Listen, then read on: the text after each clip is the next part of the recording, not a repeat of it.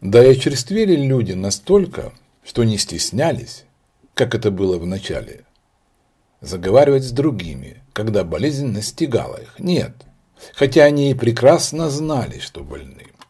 Признаюсь, я был одним из тех э, непредусмотрительных, кто не имел никаких запасов. Так что слуги мои были вынуждены выходить за каждой пустяковой покупкой в пени и даже в полпени, как это было и до чумы. Так продолжалось и после того, как я на опыте убедился в собственной глупости. Поумнел я с таким опозданием, что еле успел обеспечить себя на месяц самым необходимым. Мои домочадцы состояли лишь из старушки, которая вела хозяйство, горничной и двух подмастерьев.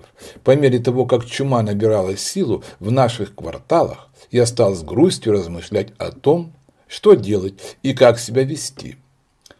Мрачные картины, наблюдаемые на улице, куда бы я ни шел, переполняли меня ужасом и страхом заразы, который и сам по себе был ужасен. Особо вот в каком отношении. Вздутие, обычно на шее и в паху, когда затвердевали и не прорывались, становились столь болезненными, что могли сравняться лишь самой изощренной пыткою.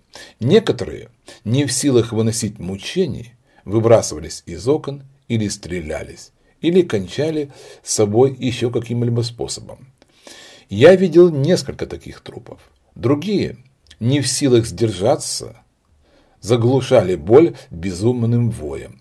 И столь громкие и жалобные крики раздавались на улицах, что кровь стыла в жилах.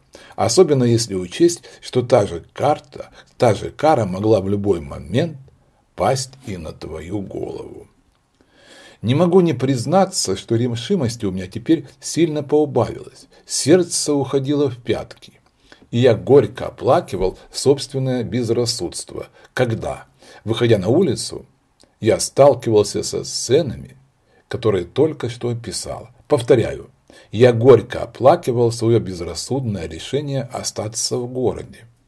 Часто жалел я о том, что предпочел остаться и не уехал с братом и его семьей. Запуганный всеми этими жуткими картинами, я иногда возвращался домой с решением больше не показываться на улице. Временами я в течение трех-четырех дней придерживался принятого решения проводил время в истовых выражениях благодарности за свое здравие, здравие моих домочадцев, в самом покаянном настроении ежедневно взывая к Богу, служа Ему постом, благочестивым размышлением. В эти же периоды я читал книги и, вели свои, и вел свои записи, помечая все, что ежедневно со мною случалось, на основе которых впоследствии я написал большую часть всего труда, прежде всего ту, где повествуется о внешних событиях. Что же касается моих размышлений, то оставляю их для личного, личного пользования и надеюсь, что они не будут обнародованы ни при каких обстоятельствах. Записал я еще одни размышления на темы божественные. Это мысли, которые в то время приходили мне в голову и были для меня большим подспорьем. Но едва ли другим они пригодятся. Так что не буду более о них упоминать. Был у меня близкий друг, доктор по фамилии Хит. Я частенько посещал его в те мрачные дни и весьма благодарен ему за советы и указания. Как лучше уберечься от заразы, когда ходишь по улицам? И что держать во рту, когда выходишь из дома. Он тоже довольно часто навещал меня, и, так как был он таким же хорошим христианином, как и хорошим врачом, беседы с ним были великой поддержкой для меня в самые страшные времена. Было начало августа, и чума жутко свирепствовала в тех местах, где я жил. Доктор Хит Зайдя навестить меня и обнаружив, что я столь часто решаюсь выходить на улицу, пылко убеждал меня запереться в доме вместе с домочадцами и никому не разрешать выходить, никому, наглухо закрыть все окна и ставни, опустить занавеси и ни при каких обстоятельствах не открывать их. Но до того хорошенько прокурить те комнаты, где окно или дверь пришлось бы открывать, используя для этого смолу, серу, порох и тому подобное. Так мы и поступили. Но поскольку у меня не было запаса провизии для столь уединенного житья, полностью запереться в доме было невозможным. Однако я попытался, хоть и с большим опозданием, сделать кое-какие приготовления. Прежде всего, запастись всем необходимым для выпечки хлеба, приготовления пива. Я пошел и купил два мешка муки, так что в течение нескольких недель мы выпекали хлеб сами в печке. Потом я купил солоду, наварил столько пива, сколько поместилось в имевшихся у меня бочонках, то есть недель на 5-6. Я также сделал запас э, масла и сыра. Вот только мяса у меня не было. А чума так свирепствовала среди мясников и на бойнях, на противоположной стороне нашей улицы, где они жили, что ходить туда было опасно. И здесь хочу вновь повторить, что необходимость выходить из домов за провизией была в значительной степени причиной бедствия всего города. Ведь люди при этом так или иначе подхватывали заразу, и даже сама пища зачастую бывала опасной. Во всяком случае, у меня есть все основания так полагать. И потому я не могу повторить с удовлетворением то, что уверенно утверждалось многими, будто торговцы, привозившие в город провизию, никогда не заражались. Я твердо знаю, что мясники из Уатхолда, где было наибольшее количество боин, страшно пострадали до такой степени, что лишь немногие из, из их лавок продолжали работать. Да и те забивали теперь скот в Маль-Энде и привозили его на рынок на лошадях. Однако бедняки не могли сделать большого запаса провизии, и им по необходимости приходилось либо самим ходить на рынок, либо посылать туда слуг и детей. А так как потребность эта возникала ежедневно, то на рынок стекалась масса больных людей, и пришедшие туда здоровые разносили смерть по домам. Правда, люди прибегали ко всевозможным предосторожностям. Когда покупалась часть разрубленной туши, мясо получали не из рук продавца, а покупатель сам снимал его с крючка. В свою очередь, и мясник не прикасался к деньгам. Их опускал покупатель в миску с уксусом, специально для этого приготовленную.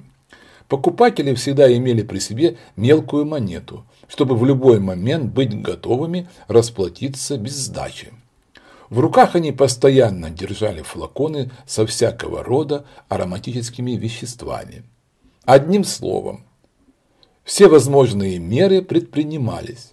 Однако бедняки даже этого не могли себе позволить им приходилось постоянно рисковать жизнью. В связи с этим мы то и дело слышали самые мрачные истории. То человек упадет замертво прямо посредине рынка, потому что многие заболевавшие и не подозревали, что больны, до тех пор, пока гангрена не поражала основные их органы, после чего они умирали почти мгновенно. Поэтому множество людей умирало скоропостижно прямо на улицах без какого-либо предупреждения. Другие успевали добраться до ближайшего ларька или магазинчика, а то и просто до крыльца. Садились и тут же испускали дух, как я уже говорил. Такие случаи стали столь чисты, когда чума разбушевалась, что стоило выйти на улицу, как обязательно увидишь несколько трупов, лежащих прямо на земле. И если вначале люди останавливались при виде мертвеца и звали соседей, то позднее никто уже не обращал на них внимания. И если по дороге нам встречался труп, мы просто переходили на другую сторону и старались пройти от него подальше. Если же это было в узеньком проходе, переулочке, то поворачивали обратно и искали другого пути. И во всех этих случаях трупы оставались лежать до тех пор, пока кто-нибудь из городских властей не убирал их или пока ночью их не поднимали погребальщики на свои телеги. Неустрашимые люди, исполнявшие эти обязанности, не боялись и обыскивать карманы умерших и даже снимали одежду с тех, кто был побогаче, унося с собой все, что могли. Но возвратимся к рынкам. Мясники позаботились о том, чтобы под рукой всегда были услужащие, готовые, если кто-нибудь падал замертво прямо на рынке, отвезти труп на ручной тачке прямо к ближайшему кладбищу. И подобные случаи так участились, что не заносились в рубрику найдены на улицах и полях, а лишь причислялись к общей суммарной цифре. Но теперь разгул болезни достиг таких размеров, что и сами рынки лишь скудно снабжались провизией. Да и покупателей на них по сравнению с прежними временами стало намного меньше. Лорд-мэр распорядился, чтобы селяне, привозившие в Лондон продукты, останавливались на подступах к городу, продавали там свои товары и немедля уезжали прочь. И это весьма оживило сельскую торговлю. Теперь селяне продавали свой товар прямо при въезде в город, а то и просто в полях, особенно в полях около Уайтчпа, а также в Сен-Фильд и на огромном поле, называющемся Вит-Клоус. Туда-то лорд-мэр, алдармены, магистрат посылали своих подручных и слуг делать закупки для собственных семей. Другие тоже старались следовать их примеру. Так что селяне охотно приезжали и привозили самые разнообразные продукты, причем урона не терпели очень редко, что и послужило основанием для утверждения, будто они чудесным образом уберегаются от заразы. Что же касается моего маленького семейства, то, запасшись, как я уже говорил, в достаточном количестве хлебом, маслом, сыром и пивом, я последовал совету моего друга-доктора и заперся вместе с домочадцами, решившись лучше прожить несколько месяцев без мяса, чем покупать его с риском для жизни. Но хоть я и запер своих домочадцев – я не в силах был побороть собственное неуемное любопытство и совсем не выходить из дома. И, несмотря на то, что обычно я возвращался в страхе и ужасе, я все же не мог удержаться, только делал это теперь гораздо реже, чем раньше. На мне лежала обязанность присматривать за домом брата в приходе Колн-стрит, так как он оставил его на мое попечение, Вначале я ходил туда ежедневно, а потом лишь один-два раза в неделю. Во время моих выходов навидался я немало мрачных картин. Особенно, когда люди падали замертво прямо на улице. Наслушался ужасных женских воплей. Визга, когда больные в агонии, распахнув настежь окна спален, вопили самым жутким, устрашающим образом. Невозможно описать все разнообразие, в котором проявлялось страдание этих бедняк. Как-то, когда я проходил по Токон-Ярд, створка окна вдруг шумом открылась прямо над моей головой, и какая-то женщина троекратно взвизгнула, а потом в ужасе закричала «Ай, смерть, смерть, смерть!». Неописуемый этот крик исполнил меня таким ужасом, что кровь буквально застыла у меня в жилах. На улице никого не было видно. Из окон тоже никто не выглянул. Люди уже перестали любопытствовать. Да и помочь ведь они ничем не могли. Так что я прошел дальше к Бел-Элли. Только я вышел на Бел-Элли, с правой стороны раздались еще более жуткие крики. хотя кричали где-то в доме.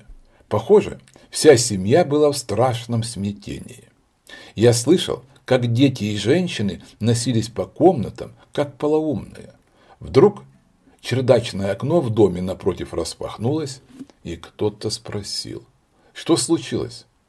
На это последовал ответ, Господи, наш старый хозяин повесился. Тогда первый спросил, вы уверены, что он скончался? И получил ответ, да-да, уверен, скончался и уже похолодел. Речь шла о купце Алдермене, входящем в совет, человеке очень богатом. Не хочу называть его имени, хоть оно мне прекрасно известно, так как а это будет едва ли приятно его семье, которая теперь вновь процветает. Но это только один случай, а ведь ежедневно в каких-нибудь семьях происходили самые невероятные и жуткие истории. Люди в разгаре болезни, испытывая мучительную боль в бубонах, действительно невыносимую, полностью теряли самообладание, становились полоумными и зачастую накладывали на себя руки, выбрасывались из окон, стрелялись и прочее. Матери в припадке безумия убивали собственных детей. Некоторые просто умирали от горя, другие со страху или от неожиданного потрясения, вовсе без всякой заразы. Некоторые впадали в идиотизм, другие в буйство, третьи в тихое помешательство. Боль в затвердевших бубонах была сильнейшей и для многих невыносимой, а врачи и, хир, и, хир, и, хир, и хирурги мучительным лечением нередко доводили людей до смерти. Припухлости бубонов сильно затвердевали, и тогда, чтобы они прорвались, врачи назначали размягчающие примочки, припарки. А если это не помогало, они резали и вскрывали их самым чудовищным образом. В некоторых случаях вздутия становились таким твердым, либо из-за силы болезни, либо из-за неумерных припарок, что никакой инструмент их не брал и приходилось выжигать их специальными средствами для прижигания. Так что многие умирали, доведенные болью до безумия, причем немало людей во время самой операции – Некоторые же без должного присмотра накладывали на себя руки, как я уже говорил. Другие выскакивали на улицу, даже голыми, бежали прямо к реке и, если их не останавливали сторожа, бросались в воду, где только могли ее найти. Частенько кровь стыла в жилах от криков и стонов несчастных, которые подвергались подобной пытке. Однако то был самый действенный метод – Потому что если затвердевания прорывались или, как выражались врачи, выпаривались, больной обычно выздоравливает. Был здоров, тогда как те, кто, подобно дочери той благородной дамы, умирали скоропостижно, как только проявлялись первые признаки, часто ходили, не подозревая о том, что больны, почти до самого момента кончины, иногда до тех пор, пока не падали внезапно, как бы сраженные апокалиптическим ударом или приступом эпилепсии. В таких случаях человек вдруг чувствовал слабость, добирался до любого ближайшего ларька, скамьи, любого другого подходящего места, а если возможно, то и до дома, садился и, как я уже говорил, терял сознание и испускал дух. Эти случаи мало чем отличались от обычной гангрены, а также от смерти в обморочном состоянии или во сне. Такие люди и не подозревали, что больны, пока гангрена не распространялась у них по всему телу. Даже доктора не могли обнаружить у них болезнь, пока не проступали на груди или на других частях тела ее неоспоримые признаки.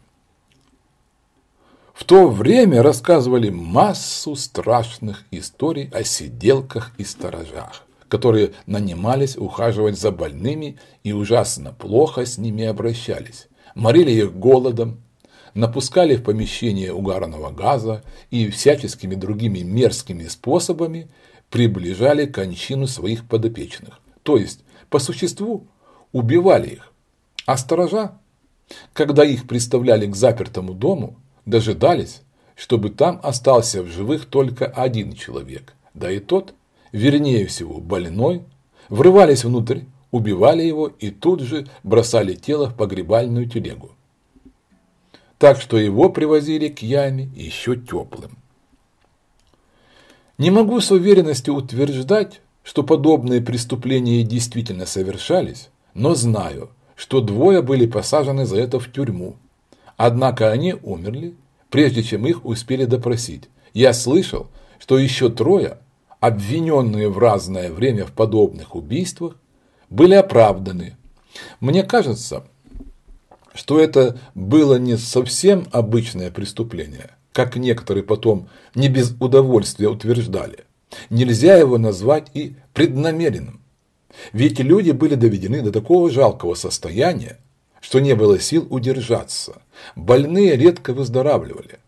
И преступникам, возможно, и не приходило в голову, что они совершают убийство, ведь они были убеждены, что больной все едино не жилец на этом свете.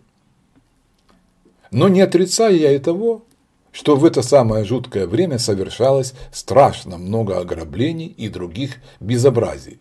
Алчность у некоторых была столь велика, что они шли на риск ограбления и разбоя, особо в домах, все обитатели которых умерли и были свезены на кладбище.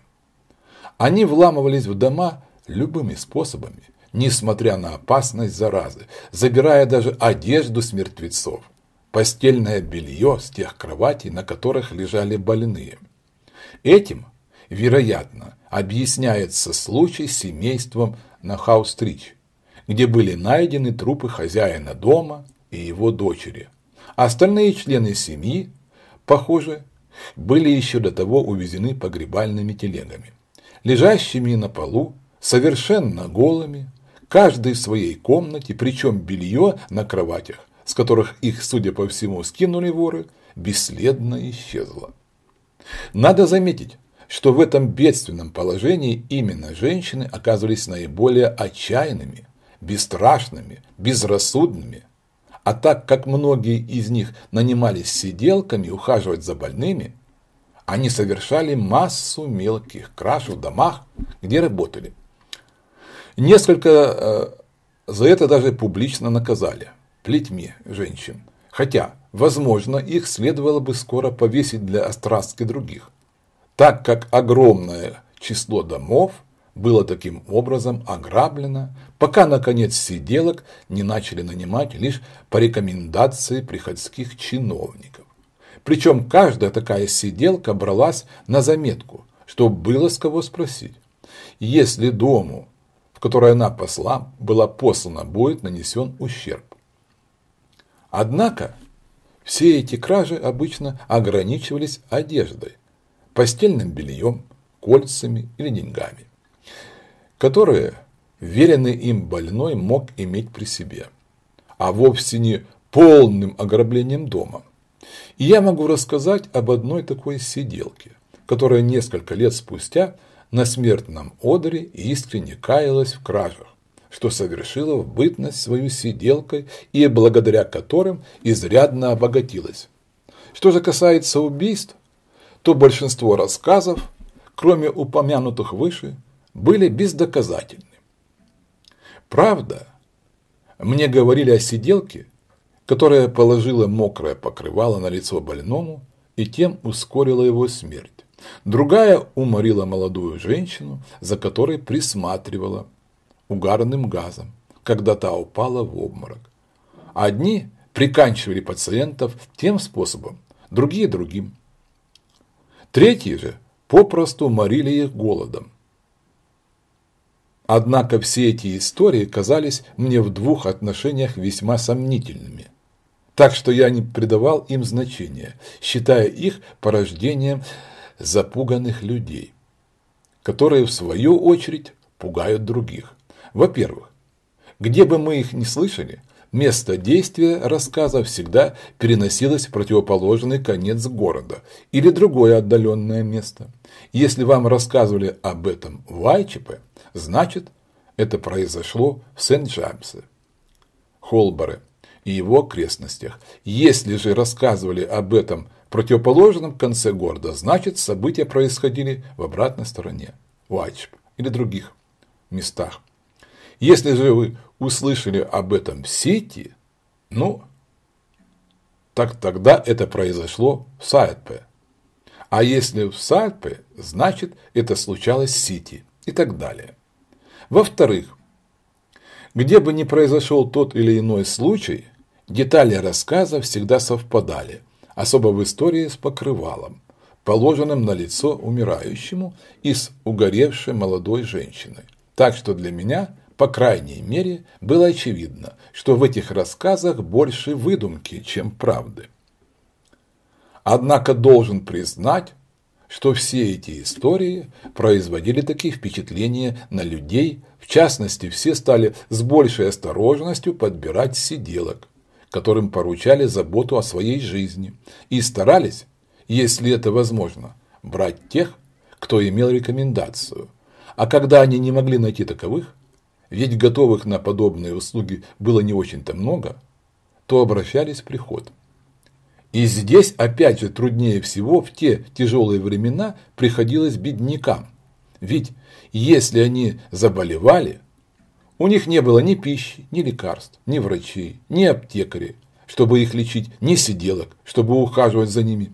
Многие бедняки оказались в самом жалостном и отчаянном положении и погибали, прося о помощи или просто о пище прямо из окон домов.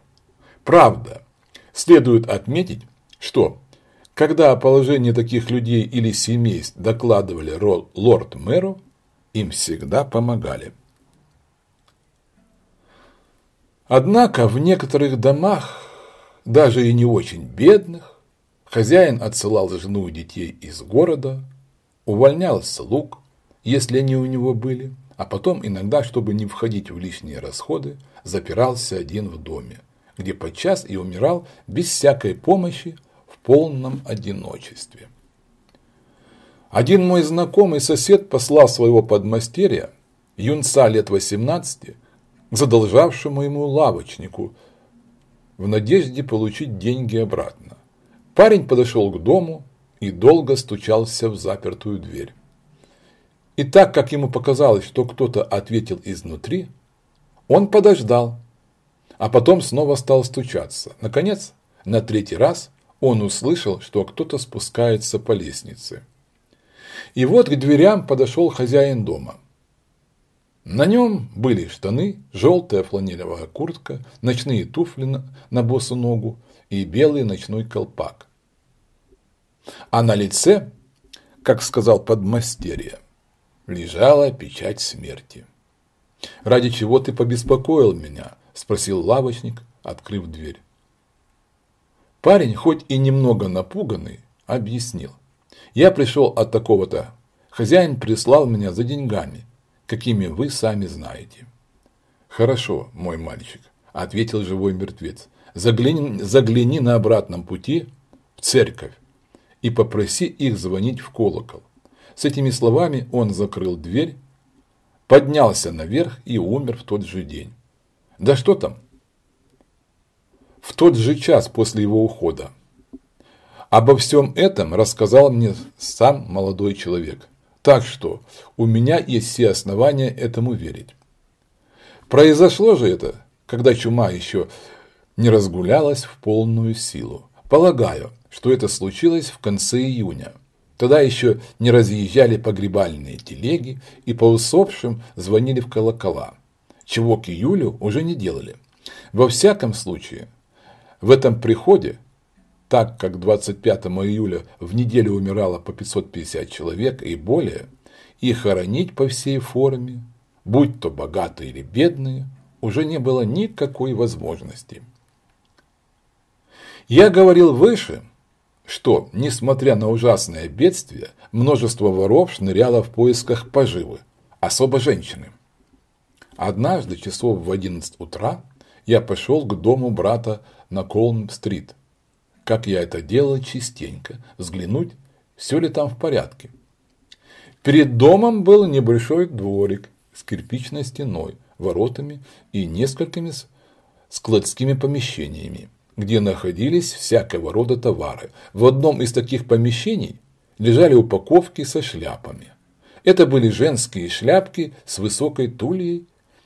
Они прибывали из провинции и предназначались для экспорта. Куда именно, я не знаю.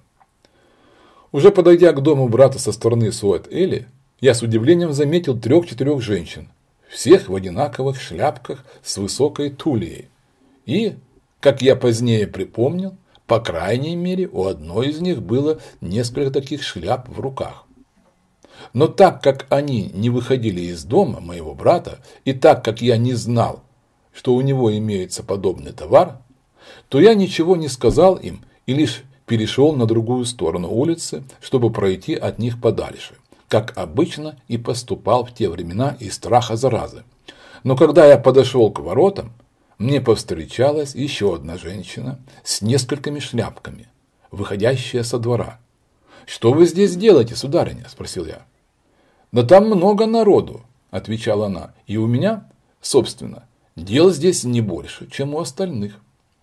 Я заторопился к воротам и не стал с ней долей разговаривать. С этим она и ушла. Но когда я вошел в ворота, то увидел еще двух идущих по двору к выходу со шляпками на головах и шляпками под мышками. Тогда я толкнул ворота, и пружинный замок на них защелкнулся, после чего повернулся к женщинам и воскликнул. «Признавайтесь-ка, что вы тут делаете?» С этими словами я отнял у них шляпки. Одна из женщин, которая, судя по всем по ее внешности, не была воровкой, сказала, не спорю, мы поступили дурно, но нам сказали, что это бесхозные товары. Пожалуйста, возьмите их назад и взгляните туда. Там еще много таких посетителей. Она плакала, казалась очень расстроенной, так что я, взяв у нее шляпки, открыл ворота и выпустил обеих так как мне стало жаль этих женщин. Но когда я взглянул, как она советовала, на склад, там оказалось еще 5-6 человек. Все женщины и все примеряли шляпки так спокойно и беззаботно, будто не находились в магазине и покупали их за деньги. Я был немного напуган. Не только тем, что увидел за раз столько воровок, но и обстоятельствами, в которых оказался. Ведь теперь мне придется уступить в общение со столькими людьми сразу, в то время как в продолжение вот уже нескольких недель, если я встречал кого-либо на улице, то переходил на другую сторону. Женщины были напуганы не менее моего, хотя и по другой причине. Они объясняли, что все живут по соседству, что им передали, будто это бесхозный товар, что они могут взять его и тому подобное. Я стал их стыдить подошел к воротам и взял ключ. Так что теперь они были моими пленницами. Пригрозил запереть их всех на складе и сходить к лорд-мэру за констеблями. Они изо всех сил молили не делать этого, говорили, что ворота были открыты, а дверь склада взломана, и наверняка ее сломали грабители, рассчитывающие на более ценную добычу. Об этом свидетельствовали и сломанный врезной замок, и раскрытый висячий замок, болтавшийся сбоку на двери, и то, что товару унесено, было совсем мало. В конце концов я решил, что сейчас не время для особой строгости, жестокости. Кроме того, мне пришлось бы вступить в общение с людьми, о состоянии здоровья которых я не имел ни малейшего понятия.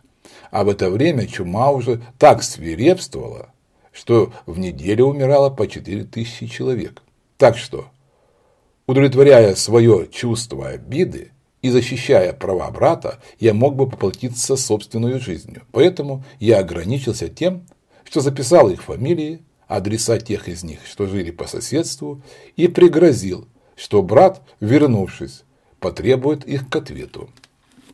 Потом я переменил тон и заговорил о том, как могли они совершать подобные вещи перед лицом общего бедствия и Божьего сурового суда, когда чума, быть может, уже подстерегает их у дверей, а то и переступила порог их жилища.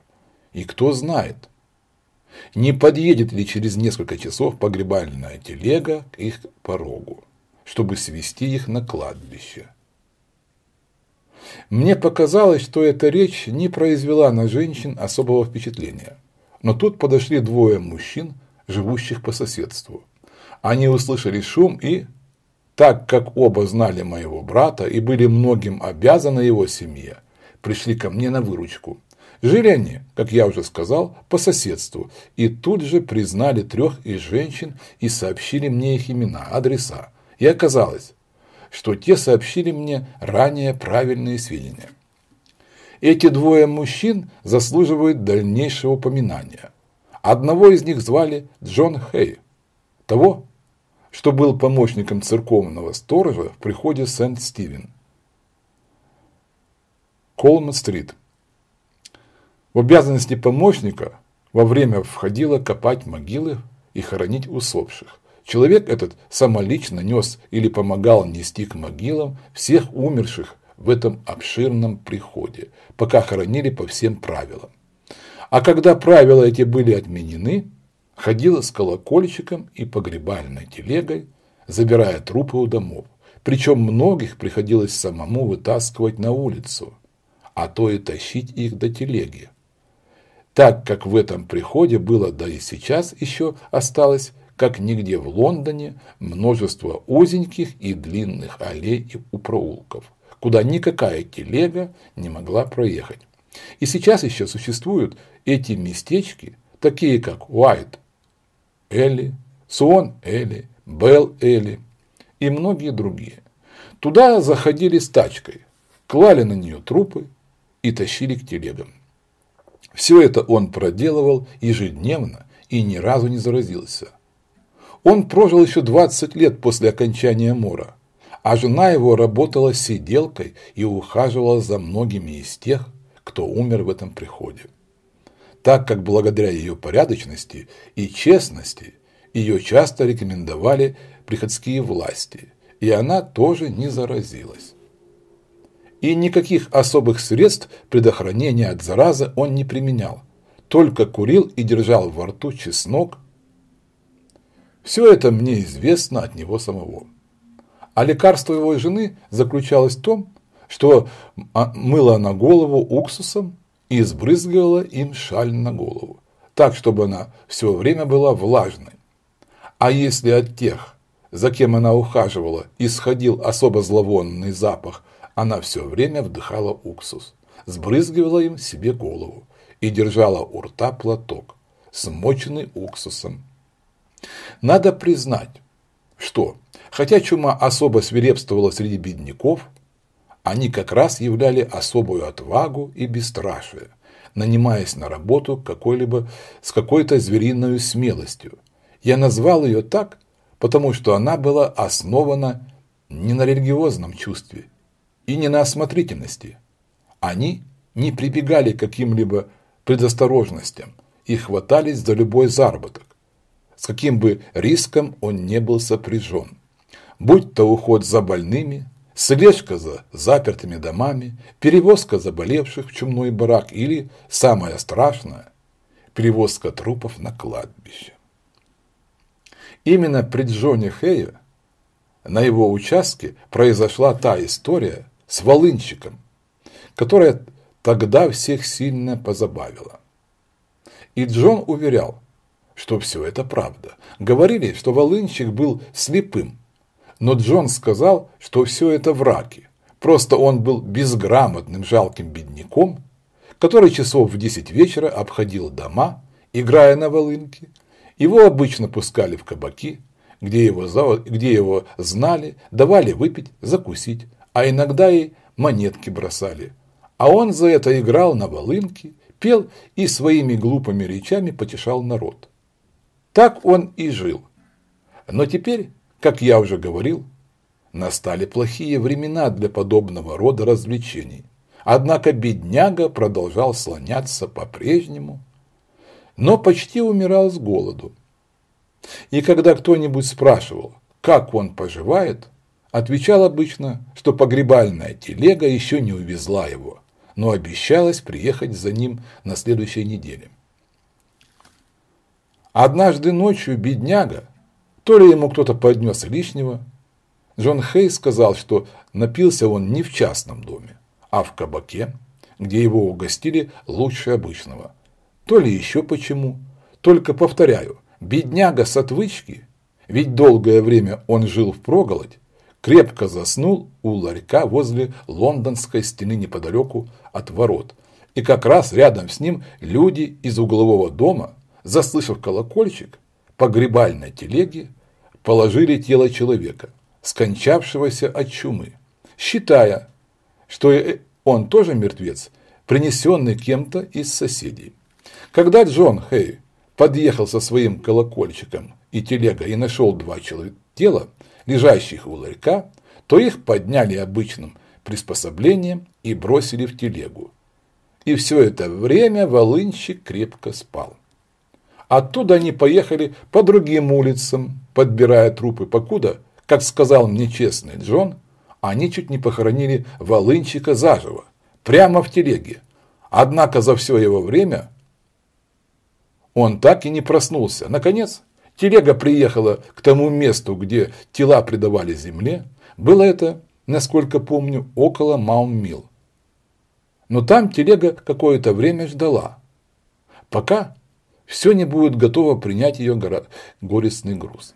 Так вот, как только телега встала, парень проснулся, с трудом высвободил э, немного голову из-под трупов и, приподнявшись телеги, заорал «Эй, где это я?»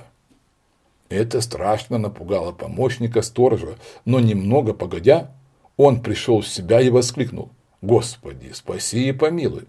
В телеге кто-то живой!» Тогда беднягу, бедняга, беднягу спросили, «Ты кто будешь?» И парень ответил, «Я бедный волынчик. Куда я попал?» «Куда ты попал?» Переспросил Хэо. «Ты попал в погребальную телегу, и мы сейчас тебя похороним». «Но ведь я вроде и не помер», спросил волынчик, и это всех слегка развеселило, хотя поначалу они были очень напуганы. Так что они помогли бедняге выбраться и тот пошел своей дорогой. Надо заметить, что погребальные телеги в городе не были закреплены за определенным приходом, и одна телега могла обслуживать несколько приходов в зависимости от количества трупов, и увозили их не обязательно на соответствующие приходские кладбища. Многие трупы из Сити за неимением места вывозили за город. Я уже говорил, о страхе и удивлении, которые вселял в людей этот мор. Теперь хочу сделать несколько серьезных замечаний нравственного характера. Уверен, что никогда еще город, во всяком случае столь огромный город, не оказывался до такой степени неподготовленным к этому ужасному испытанию. Будь то светские власти, будь то духовенство, как будто не было предупреждения предчувствие ожидания, соответственно, и не было сделано в городе ни малейшего запаса провизии для общественных нужд.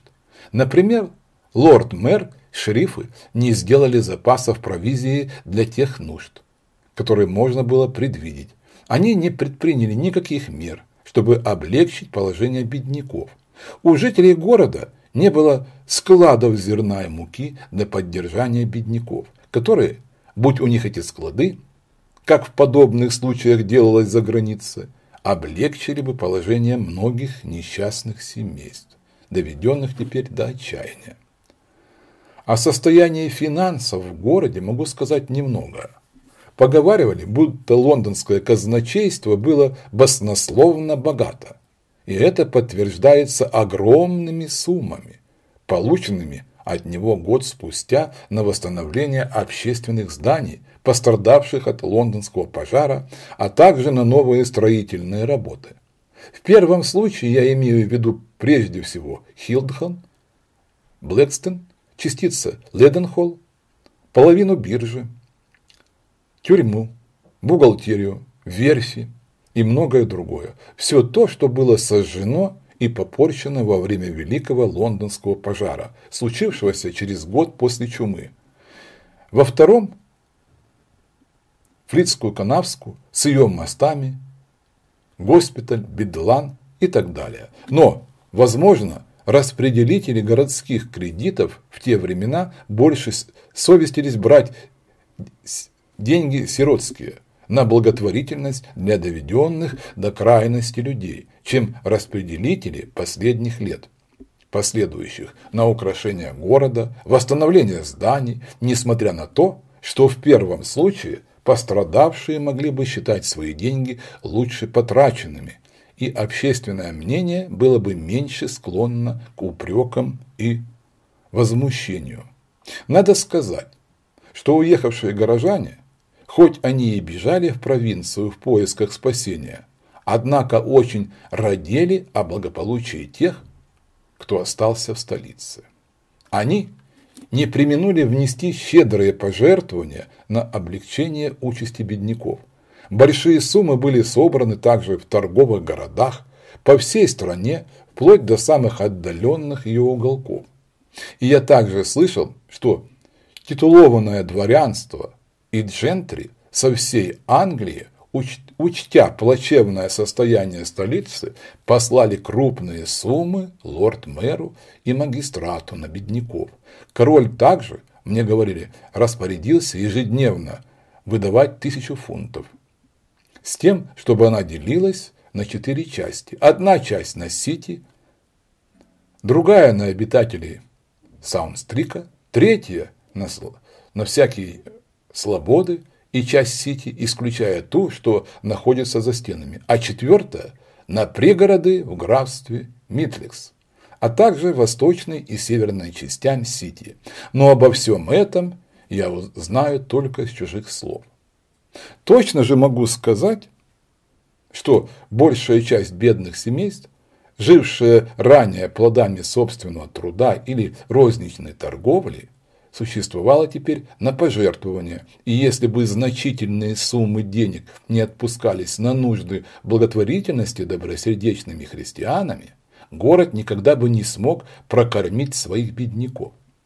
Несомненно, велся учет этих пожертвований и их распределение магистратам. Но также многие чиновники, занимающиеся распределением, умерли во время мора, а большинство отчетов погибло из-за великого лондонского пожара, который приключился через год после чумы, в огне которого погибли даже дела казначейства, то мне так и не удалось получить точных данных, хоть я и очень хотел их увидеть. Эти сведения могли бы оказаться весьма полезны, если бы, сохрани Гос, Господь, нас вновь постигло подобное испытание. Я хочу сказать, что благодаря заботам лорд-мэра, олдерменов, еженедельно распределяющих огромные денежные суммы для облегчения участи бедняков, множество людей, которые иначе погибли бы, были спасены и остались в живых бы. И здесь Разрешите привести краткий очерк положения бедняков в то время с изложением соображений, что можно из него извлечь, так чтобы в дальнейшем знать, какие меры принимать, если город постигнет подобное несчастье. Еще в самом начале мора, когда уже стало ясно, что весь город подвергнется испытанию, и когда, как я уже говорил, все кто имел друзей или поместья в сельской местности, покинули столицу вместе с семьями, так что можно было подумать, будто все жители устремились к городским воротам, и вскоре никого не останется в Лондоне, любая торговля, не связанная с обеспечением населения самым необходимым, была полностью приостановлена. Это столь животрепещущий вопрос, так тесно связанный с реальным положением людей – что в обсуждении его нельзя оказаться слишком дотошным. Поэтому я и разделил на несколько групп людей, которые непосредственно пострадали от приостановки торговли. Первая группа. Все ремесленники, особенно те, что занимались отделкой и другими украшениями платья, белья, мебели. Например, изготовители лент, ткачи, ткачи, плетельщики, кружев из золотых и серебряных нитей, вышивальщики золотом, серебром, портные, продавцы галантерейных товаров, сапожники, шляпники, перчаточники, а также драпировщики, столеры, краснодеревщики, стекольщики, как и вся торговля, связанная с этими профессиями. Так что владельцы лавочек, занимающиеся такого рода торговлей, позакрывали их и распустили подручных работников и подмастерьев. Вторая группа.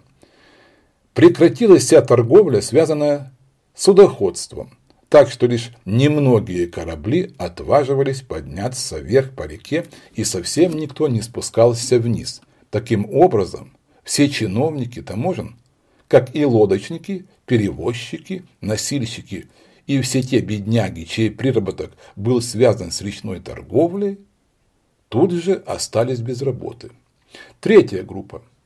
Все торговцы, которые были связаны со строительством или ремонтом домов, остались без работы, так как в городе, где тысячи домов стояли бесхозными, никто и не помышлял о строительстве. Так что уже хотя бы по этой причине все строительные рабочие, кирпичники, каменщики, плотники, столяры, стукатуры, маляры, стекольщики, кузнецы, паяльщики и все их подручные остались без работы. Четвертая группа.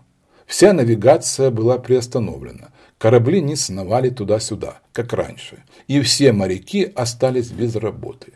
Причем многие из них в самом отчаянном положении – и к морякам следует еще присоединить самых разных ремесленников и торговцев, связанных со строительством и снаряжением кораблей, таких как корабельные плотники, конопатчики, плетельщики канатов, бочары, изготовители парусов, якорей, шкифов, талий, резчики, оружейные мастера, судовые поставщики и тому подобное. Хозяин дела мог, возможно, прожить на свои сбережения, но торговцы полностью прекратили работу и были вынуждены уволить своих подручных. Добавьте к этому, что на реке совсем не стало лодок, и большинство лодочников и матросов, а также строители лодок и лихтеров остались без работы. Пятая группа. Все семьи, независимо от того, уезжали они из города или оставались, старались максимально урезать свои расходы. Так что несметное число грумов, лакеев, сторожей, подденщиков, счетоводов в купеческих семьях и прочих, а особо горничных, было уволено и оказалось без друзей, без работы, жилья и какой-либо помощи. И эта категория людей оказалась в особо бедственном положении. Я мог бы рассказывать обо всем этом еще подробнее, но достаточно будет отметить в целом, что торговля, как и прием людей на работу, прекратилась. Не было торговли, а значит, не было и хлеба для бедняков. Не было. Поначалу жалко было слышать их вопли, хотя распределение благотворительной помощи значительно облегчало им бедствия. Многие бедняки разбрелись по другим графствам, но тысячи остались в Лондоне, пока их не выгнало из домов отчаяние. Многих смерть настигла в дороге. Они оказались всего лишь посланцами смерти. Другие же, неся в себе заразу, распространили ее в самые отдаленные уголки страны. Многие оказались жертвами отчаяния, о чем я уже говорил, и вскоре погибли. Можно сказать, что умерли они не от самой болезни, но от ее следствий, а именно от голода, отчаяния, крайней нужды. У них не было ни крова над головой, ни денег, ни друзей, ни работы, ни возможности одолжить у кого-либо деньги. Ведь многие из них не имели, что называется, постоянного вида на жительство и не могли обращаться в приходы. Все, что они могли, это просить о помощи магистрата.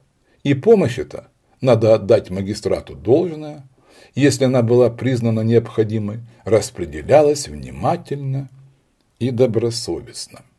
Так что те, кто оставался, не испытывали таких нужд и лишений, как те, что уходили из города. Пусть любой, кто хоть сколько-то представляет, какое множество народа добывает собственными руками хлеб, свой насущный, будь то ремесло или просто поденщина, повторяю, пусть любой представит себе бедственное положение города, если внезапно все эти люди лишатся работы, труд их станет не нужен, а жалование получать будут не на что и не за что. А именно так в то время у нас и получилось. И если бы не огромные суммы пожертвований благородных людей, как внутри страны, так и за ее пределами, мэру и шерифам не удалось бы поддерживать общественное спокойствие. Понимали они и то, что отчаяние может подтолкнуть людей к беспорядкам и подстрекнуть их вламываться в дома богачей, грабить рынки с провизией. А в этом случае селяне, смело и помногу привозившие в город продукты, были бы напуганы, прекратили бы свои поездки, и горожан ожидал бы неминуемый голод. Но лорд-мэр, совет алдерменов в Сити и мировые судьи вели себя как так осмотрительно, озаботились получить столько денег со всех концов страны, что им удавалось сохранять спокойствие среди бедняков и облегчать их положение, насколько это возможно. Помимо этого были еще две причины, препятствующие бесчинствам толпы.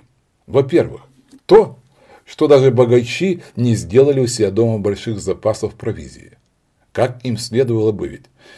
будь они достаточно умны, чтобы так поступить и запереться в собственных домах, как и сделали некоторые, они бы гораздо менее пострадали. Но факт остается фактом. Что они этого не сделали, так что толпа не нашла бы запасов провизии. Вломились они в любые дома, и она подчас к этому очень близка была. Но если бы дошло до крайности, то и всему городу пришел бы конец. Ведь не было регулярной армии, чтобы противостоять толпе. Не собрали бы и наемных отрядов для защиты столицы, потому что не осталось мужчин, способных носить оружие. Но предусмотрительность лорд-мэра и тех членов магистрата, которые еще исполняли свои обязанности, потому что даже некоторые из алдерменов умерли, а другие уехали, предотвратила это причем поступали они самым деликатным, доброжелательным образом. Первым делом облег, облегчая деньгами участь самых нуждающихся, других же обеспечивая работой, прежде всего в качестве сторожей при запертых домах, пораженных чумой. А так как число подобных домов было весьма велико, говорили, что в городе единовременно было заперто до 10 тысяч домов, и при каждом доме было по два сторожа, на дневное время и на ночь, то это давало возможность одновременно обеспечить работой огромное число бедняков. Работницы и служанки, которым было отказано вместе, нанимались, соответственно, сиделками при больных. И это тоже дало работу очень многим. И, как это ни грустно, была еще подмога сама чума, которая так косила людей с середины августа по середину октября, что унесла за это время 30-40 тысяч тех, кто, останься они в живых, оказались бы э, по своей нищете непосильным бременем. Вся столица не смогла бы взять на себя расходы на их содержание или снабдить их провизией. И, чтобы поддержать себя, они были вынуждены бы грабить либо город, либо его окрестности, а это рано или поздно ввергло бы не только Лондон, но и всю страну в смятение и хаос. Выше говорилось, что общее бедственное положение привело народ в трепет. Уже около девяти недель к ряду ежедневно умирало около тысячи человек, даже согласно еженедельным сводкам, а у меня есть все основания считать, что они никогда не давали полных данных преуменьшая их на многие тысячи. Ведь была страшная неразбериха. Погребальные телеги привозили мертвецов в темноте. В некоторых местах вообще не, не велся учет. Телеги же продолжали возить трупы, а чиновники и сторожа не показывать на своих местах на работе не показывались по целым неделям и не знали, сколько трупов свезли на кладбище. Сказанное подтверждается следующей сводкой смертности. общее число умерших и умершие от чумы, и умершие от чумы. С 8 по 5 августа общее число 5319, чума унесла 3880. Э, с 15 по 25 5565 общее, от чумы 4237. С 22 по 29 августа общее число 7490, от чумы 6105. С 29 августа по 5 сентября 8250 общее число, умершие от чумы 6990. Получается, что большинство людей погибло именно за эти два месяца, ведь если общее число погибших от чумы было 68 590, то здесь указано 50 тысяч только за такой ничтожный период, как два месяца. Я называю цифру 50 тысяч потому, что, хотя до нее не достает 295 человек, здесь не хватает и пары дней для полных двух месяцев. Так вот, когда я утверждаю, что приходские служащие не давали полных отчетов или что их отчетам нельзя доверять, надо учитывать, насколько трудно было соблюдать точность в те бедственные времена, когда многие из служащих тоже болели, а возможно и умирали, как раз в то время, когда им полагалось сдавать отчеты. Я имею в виду приходских служек, не считая низших чинов. Ведь хотя эти бедняги шли на любой риск, сами они вовсе не были избавлены от общего бедствия. Особо в приходе степни, где в течение года погибло 116 могильщиков, кладбищенских сторожей, их помощников, то, есть, то есть носильщиков, звонарей, перевозчиков, доставлявших трупы на кладбище. Эта работа не располагала их праздным вопросом об умерших, которых в темноте сваливали в общую яму. Подходить близко к этой яме или траншеи было крайне опасно. Я не раз видел в недельных сводках, что число умерших в приходах Олгерн, Степти достигало 5, 6, 7, 8 тысяч, сотен в неделю. Тогда как если верить тем, кто жил в городе, все это время, так же, как и я, то число умерших достигало иногда в этих приходах двух тысяч в неделю. Я сама лично видел подсчеты одного человека, занимающегося максимально точными исследованиями этого вопроса, согласно которым от чумы в течение года умерло 100 тысяч человек, в то время как, согласно сводкам, их было 68,5 тысяч.